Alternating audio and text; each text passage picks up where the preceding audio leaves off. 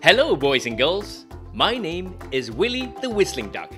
Can you all say, Hello, Willie the Whistling Duck? That's terrific. Hello, everyone. I'm a whistling duck. Actually, my full name is the Lesser Whistling Duck because when I talk to my ducklings, it sounds like I'm whistling. Ducklings are baby ducks. Aren't they cute? Whistling ducks like us can be seen and heard on wetlands around our beautiful green country.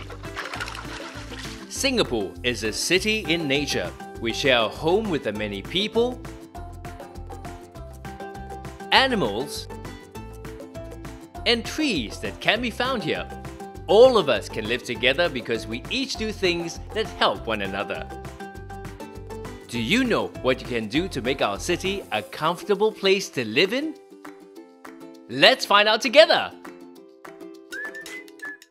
Do you think we should do this or this? No, please do not feed Singapore's wildlife and birds. We can feed ourselves.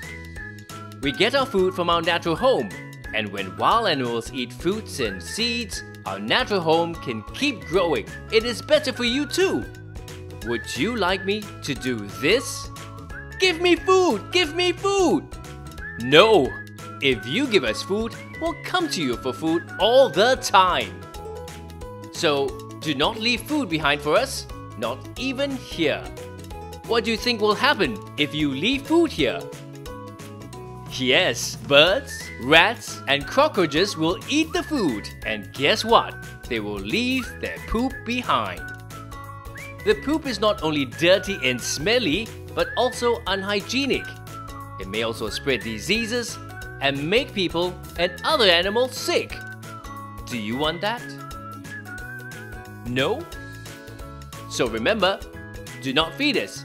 We can feed ourselves. We can eat all the delicious food in the forest. And when some animals eat in the forest, they leave the seeds behind.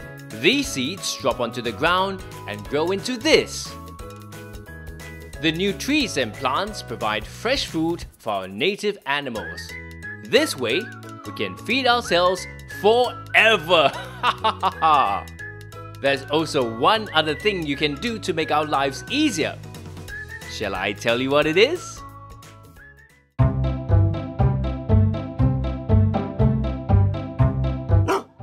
What do you think just happened? That's right, the dog barking scared my ducklings away. Wild animals like us get confused when people bring their pets into our homes, in the nature parks, and nature reserves. Can you guess why?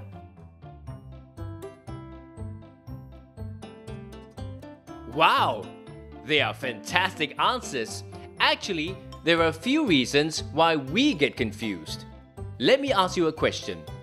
If you came home from school and you found me sitting on your bed, wouldn't you be confused and maybe a little scared? Of course you would, because it is your home. So when your pets come into our homes, we may run away and not come back. And we are native animals. This means we have been living here for a long time. Natural spaces like these are our only homes. We cannot live in apartments like you. We have to live here. So we need our space. That means pets like your dogs belong here. And wild animals like me belong in the wild. If your pets get too close to wild animals, this could happen. Look how frightened they are. Is that what you want? No, exactly. We all need our space to live peacefully in this city in nature. And we need to find our own food. Oh, that reminds me. I need to get back to my ducklings. Bye everyone!